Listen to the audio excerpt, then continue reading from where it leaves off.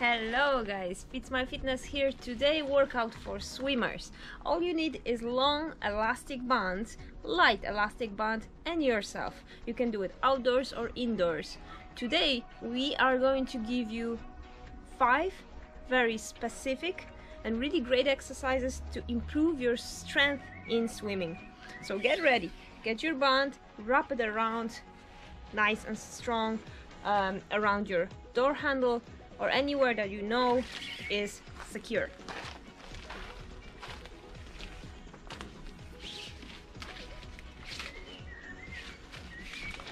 So my band is nice and light and this is what you want. You don't want too much of a resistance.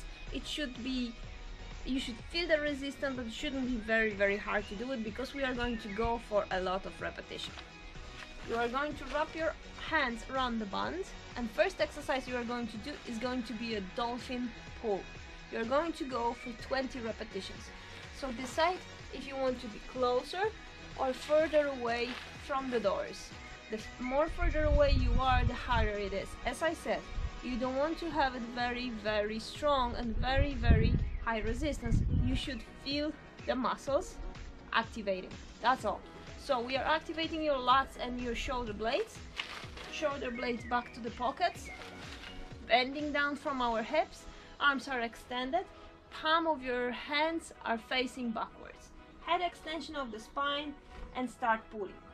Two, three, four, five, six, seven, eight, nine, ten, one, two, three, four, breathe, five, six, seven, eight, nine, and 10. And straight away you are going to stick your arms to your ribs like this on the side. Shoulders are back and down again.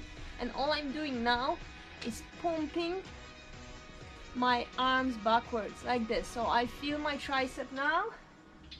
I really feel it starts to work. This is the pull phase and push phase of your swimming.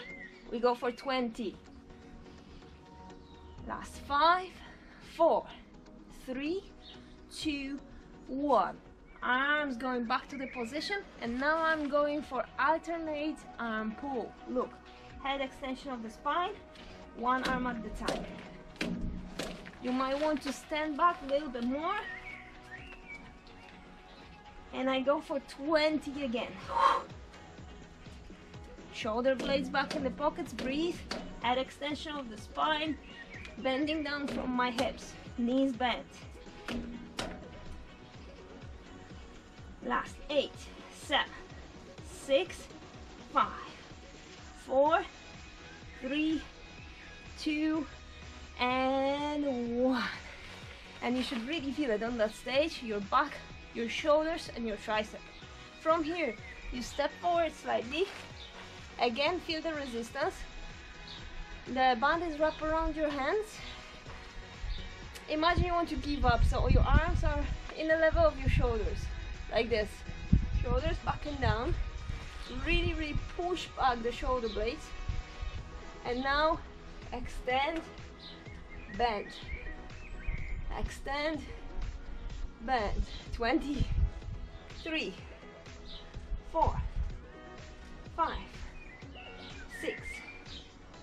seven. Make sure you don't round your back. Eight, nine, ten, ten, nine, eight, seven. Breathe. Six, five, four, three, two, one. Notice that I'm trying to have my arms all the time in the level of my ears. So I don't round my back and I feel the pressure on my shoulder blades all the time. Last exercise, number five, we turn. I'm still holding the band.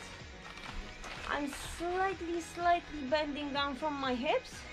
Arms are close together, close to my ears, and I extend and bend the arms. Triceps again, guys. Step away if you need a little bit more of a pressure. We go for 20. What you want to do is think of the muscles that you're working. At the moment, we are working back of your upper arms, your triceps.